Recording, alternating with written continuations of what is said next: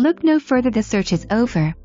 Enjoy the Florida lifestyle in this 2397 square foot Port Charlotte pool home which has two bedrooms, two bathrooms and a two-car garage.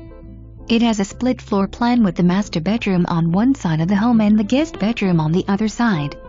There are two sewing rooms that provide additional storage space in the home. This home is located on a parcel of land with four lots, a total of almost an acre, and would be perfect for the family with pets.